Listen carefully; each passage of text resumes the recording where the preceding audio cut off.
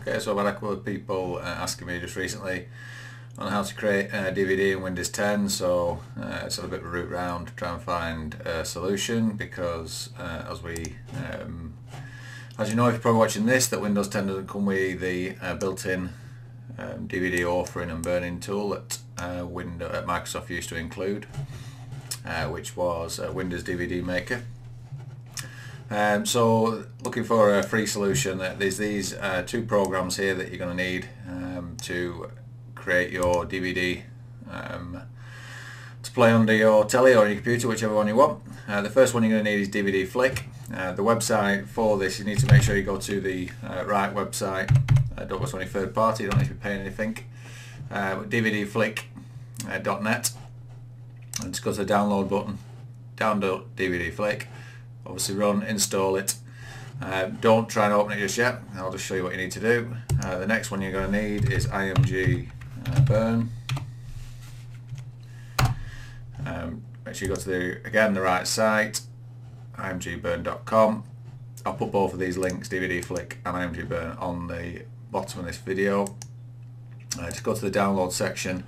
In here there's different places where you can download it from. I always tend to try to go to the IMG Burn one. Um, but obviously go to where you want. Uh, when you do install IMG Burn, just make sure that um, if you don't want some of the third-party things, uh, for example, it can reset your um, uh, web page. Uh, I think it installs Google and some other bits and pieces. Yeah, you can untick that. So just don't click next. Just make sure you read um, when you're installing IMG Burn. It's a really good program, really good free tool. So once you've got both of them on, uh, the first thing you need to do, if you try and open DVD Flick, it might run, uh, but 90% uh, of the time it uh, hits problems. So you need to run it in compatibility mode. So go to the icon DVD Flick, right click, go to Properties, into Compatibility. And then here you can actually run the compatibility troubleshooter if you've already tried to give it a go. But this is the one you want. You need to make sure that this is ticked, compatibility mode. So make sure you tick that. Uh, you've got multiple different options here, but Windows Vista Service Pack 2 is the one to use. Once you've done that, click Apply, click OK. Uh, before we start, I think it's worth, if you just install both of these programs, is to just run, uh, make sure you open it, uh, open both programs so you know that they both work. Um, IMG Burn will open automatically with a setting that we use in DVD Flick. Um, so I can see that it's working, it opens fine. So start with, we need to open DVD uh, Flick. I'm not going to go into too much detail here because I just want to show you how to burn the DVD. There's quite a lot of settings. Uh, well, um, the few settings at the top. It's quite basic for uh, this type of program, but it's uh, enough for what we need. So the first thing to do is you need to um, put some uh, video in here. So if you've got something that you're thinking of, I'll just stick something in. Um, uh, stick this in, whatever that is. It looks like it's a short video. So once you um, drag it into DVD Flick, it'll just take it a bit just to process it. Depending how big the file is, it'll take uh, longer. This must be only a smallish file. It's not taking that long. So now that we have it loaded into um, this main screen here, we've then got a couple of options. We can save the project if we're wanting to save it and then come back and play around with some of the tools later. Um, project settings. The most important one here is burning. I will quickly go through them. General, you can give your video a title. I'll call it the name of the actual video in mind, Terraria. Here you can look for whatever you're going to put in your drive. So um, you can go for a DVD double layer, you can just know standard DVDs, CDs. Um, so we might just go for, no, we'll, we'll do it on a DVD. So go to DVD, um, thread count will set automatically. If you're wondering what these are, there's a little help menu. You click on there and it'll tell you about them. Um, again, not going to go too much detail, but PAL, we're in the UK, so it's set as PAL at the moment. You can set to NTSC. Um, the main one that I wanted to get to is the burning. If you don't tick this, it won't burn any DVD at all. So the burning section, you need to burn the project to disk. Make sure that that's ticked. Again, give the uh, video, uh, the disc label, a disc a label and we're going to call it Terraria DVD. Make sure that the drive is selected as the one that's on your computer. So I only have one this uh, this desktop, which is this Pioneer here. speed is set automatically. You can change this, it will warn you um, if you go too high.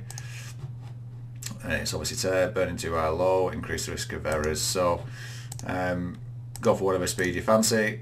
Uh, obviously discs need to be compatible as well as the drive. Um, it, this setting here, if you're sticking, um, sticking a, a, rewritable disc in, that will um, erase it before it uh, tries to burn the uh, DVD. So once you're there, click accept. And then the, you do have the menu settings as well. In here, this is the menu that you get presented with if you're putting it into sort of a DVD player under the telly uh, or your computer. These are the basic menus. It will um, open these up as soon as you stick the DVD in. Uh, I tend to just go with none, um, but it's up to you what you use. Uh, you can set, I say, I'm not going to go into any details here. I'm just going to select none. So basically when you stick the DVD in, it'll go straight away and start to play. So now we click accept. So making sure that we have all them options selected. We then have the project destination folder. If you've already created a couple in this, it will say that um, the day uh, the actual destination folder has been created. So in here we have to name it something. You see I've DVD 1, so that was one I did earlier. I do DVD 2, so that's where it's actually going to just put the project to. And this bar here on the left, if we've got a larger um, video in here, this will fill up depending on how much, uh, how big the uh, video file is. So this is like I say, it's probably only I don't know 30-40 seconds worth, and it's only one percent of the actual disc. So now's the time to uh, stick your DVD in, your blank DVD. Okay, so I'm just going to put the uh, blank DVD in the drive. And again, depending on how your machine is set up, it might bring a box up. Uh, Windows can be set to automatically do certain things when you insert a disk, so it might bring up a, an already burning software that you already have on there or might bring the uh, Windows Explorer. Depends on how you've got it set. Uh, once we're ready to go, got the DVD in the drive, we then want to create the DVD. So as soon as I push this, it's going to start to, you'll see what it starts to do. Start to encode the video, obviously the uh, encodes the audio off the actual um, video that we've just dragged into DVD Flick. And depending on uh, how, how big your uh, video file is will depend on how long this takes. So as soon as it goes to finalize, you'll see that it opens IMG Burn, and this is that box that we ticked earlier. So I'm just going to drag in these around just so you can see what's going on.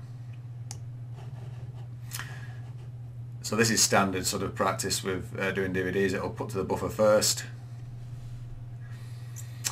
and once it's um, set it will then start uh, doing the lead in and, and writing the actual files to the disk. So at this stage I'll probably um, just skip the video just to the uh, end finalising. Um, it shouldn't take it that long. As soon as it starts here we'll just uh, skip on and so if you're watching this back you can basically you can see there it's um, burning the disk as the buffer drops down and this is just standard for any DVD or CD burning software. Uh, okay, so uh, the thing is when it's writing this disc, don't get impatient with it, just let it all finish properly, as you can see it has just done there. Uh, once it's done, you can free to close DVD Flick. And this here, when we go to close here, it'll ask if we want to save the project. I'm not really interested in saving this because it's just purely for this uh, this YouTube video. Um, so, yeah going to exit. Okay, so I'll put the DVD in uh, and then just, depending if your mine's not set to autoplay, uh, but I'll just um, right click, um, play with that so we just prove that it's worked. And there you can see that's the video that we burned to the um, DVD. Okay, I hope this has helped. Uh, if it has, you can just uh, subscribe to um, my channel or give your comments or a like, be much appreciated. Thanks for watching. Thank you.